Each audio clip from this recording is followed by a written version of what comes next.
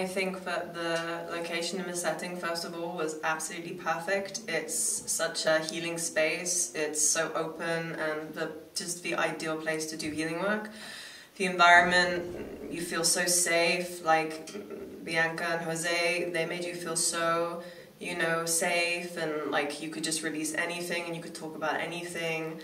It was an intimate group, so it felt like, you know, we got to share our stories and become very familiar with one another in a way that we wouldn't have been able to do if there had been more of us, so that also made a huge difference.